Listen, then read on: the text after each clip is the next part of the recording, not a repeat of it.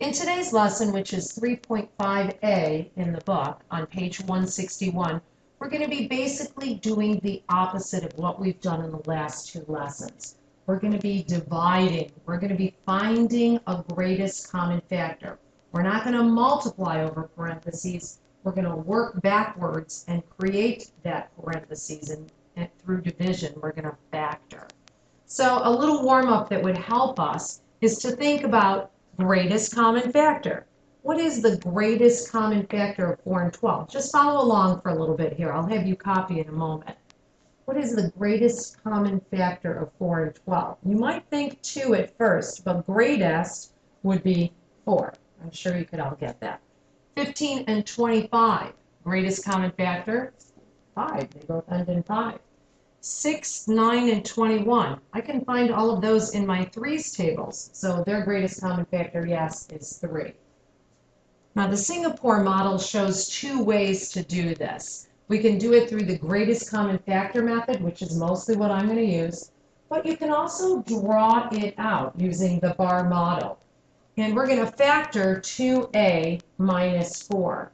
Well, I can see that they both have a 2 in common. 2a and negative 4 both have a 2 in common. So I could think of it as two groups, two groups. I could take a 2 out of a minus 2's. So if I was going to draw that, I would draw two groups of a's, two groups of a's, minus 2. And you can see that this is in the book. There's a minus 1, and there's a minus 1 here's a minus 1, and here's a minus 1. So I have two groups. Here's my first group on the top, and another second group of a minus 2. So two groups of a minus 2. They have a 2 in common. So factoring 2a minus 4, it looks like 2 times the quantity a minus 2. Well, to factor using the greatest common factor, Yes, the greatest common factor, as you saw me using the bar model, is 2. So I would divide each term of my binomial by my greatest common factor 2. Well, 2 halves gives me an A, and 4 divided by 2 gives me negative 4 divided by 2 gives me a negative 2. And I would put a parenthesis around that because that's what my expression equals when I do this division. My common factor comes out in front of my parentheses. So I'm going backwards to what we were doing the other day, where we were multiplying over this parentheses to get the binomial 2a minus 4. So we're kind of working backwards. We're undistributing the factor of 2 and putting it outside the parentheses.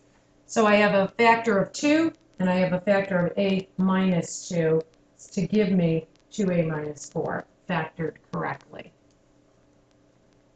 So let's factor a few more of these. So your goal is to think, what do 3a and 6b have in common? Well, they don't have a and b in common, but they do have a factor of 3 in common. So if you divide each of the terms by the 3, 3 divided by 3 would give me an 1, so I'd have 1a. 6 divided by 3 gives me a 2, 2b's, put a parenthesis around that. The common factor that you factored out goes out in front. 3 times the quantity a plus 2b is the factored form of 3a's plus 6b. Number 2, again, thinking what do 3x and 9, negative 9y have in common? Well, x and y is not common, but again, a factor of 3 is common to both of these. So taking out that 3, I, 3 divided by 3, I'm going to get 1x. And negative 9 divided by 3, I'm going to get negative 3 y's. Bring along that y. So the parentheses goes around that binomial that I have, and I put my common factor out in front. So 3x minus 9y in factored form, taking out what they have in common, that 3, putting it in front of the parentheses, the answer is 3 times the quantity x minus 3y. Number 3, 6a's minus 18b's. Well, I could see that they have a 3 in common again, but greater than 3, they both have a 6 in common. So I'm going to factor out a 6. 6a divided by 6 would give me 1a's, 1a, and negative 18 divided by 6 would give me negative 3. Bring along that b, put a parentheses around that, and put your common factor out in front. So 6a minus 18b's in factored form is 6 times the quantity a minus 3b.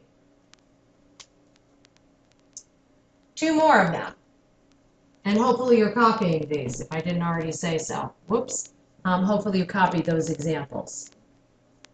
So 2j and negative 10k have a 2 in common. 2 and 10, common factor, 2. So 2j's divided by 2 would give me 1j.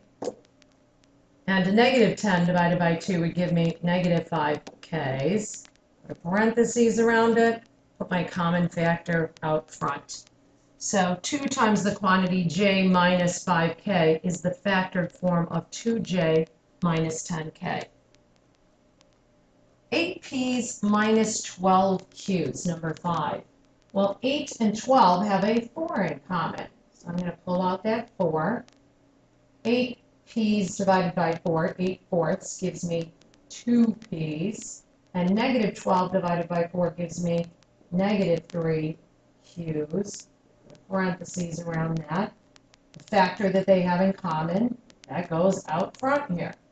So my 4 that I divided out is going to go out in front of that parentheses. So I have 4 times the quantity 2p's minus 3q's. A great note here, how can you check to see that you're correct? And I did show you an example of this in class.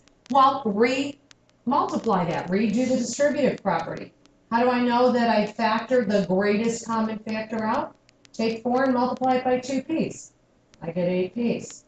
4 multiplied by negative 3 q's. 4 times negative 3, negative 12 q's. Did I get back to my original binomial up there? Yes, I did. So I know I factored it correctly. Let's check number 4. 2 times j, 2j's. 2 times negative 5k's, negative 10k's. Did I get back to the original expression? Yes. So a good way to check that you're factoring correctly is to re-multiply, apply the distributive property to make sure you get back to that original expression. One more. Now I have a trinomial here, three different terms, 10g's, negative 15x, positive 35. Well, the only thing that I see that they, all three of them have in common, all three have in common is a 5, a factor of 5. So if I divide each term by 5, I should get a factored form of this. So 10 fifths gives me 2, 10 divided by 5, 2 g's, bring along my g. Negative, oh, negative 15 divided by 5 is negative 3x. And 35 divided by 5, positive 35, positive 35 divided by 5, positive 7. Put parentheses around all of that, long trinomial, put your common factor out front. And again, we can check this. Do the distributive property. 5 times 2g's, 10g's. 5 times negative 3x, pay attention to your signs, negative 15x. 5 times positive 7, positive 35. Did I get back to my original expression, 10 g's, negative 15x, positive 35? Yes, so I know I factored that correctly. We could see this in a word problem. As you saw some of the distributive ones in word problems, now we can do factoring in a word problem. An SSR book has an area of 9m minus 30n quantity square units. Its width is 3 units. Factor the expression for the area to find an expression for the length of the rectangle. So area equals length times width for a rectangle. A book is a rectangle. So finding just the area of the top of that book, obviously. Um, we have area equals length times width. So if I take the area and I divide it by the width, I should get the length. I've got to find an expression for the area to find an expression for the length of the rectangle. So I've got to solve this for the length. What's the length if the area is 9m minus 30n, and I'm going to factor out my width of 3. So divide by 3. 9m's divided by 3, 9 thirds is 3m's. And negative 30 divided by 3 is negative 10 m's. So my length is the expression 3m minus 10n units. Square units goes on area, but units goes on just the length. Now, notice I'm not putting the 3 out in front of here because I don't want to show width times length. I don't want to show that width out here. Width times length. It says just find the expression for the length. So notice this time I didn't put the 3, the common factor, out front because I only wanted to find just the length, and this is the length. 3m's minus 10n units. So th in this case, I didn't put the 3 out front. Normally, we would do that. That would be the factored form of this expression. But that's the width, and I only want to find the length. So that's it for today. Uh, we'll be in class and work on some problems about factoring.